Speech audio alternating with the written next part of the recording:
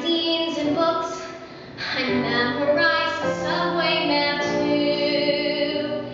It's one block north to Macy's and two to Brothers Brooks. Manhattan, I'm prepared for you. You certainly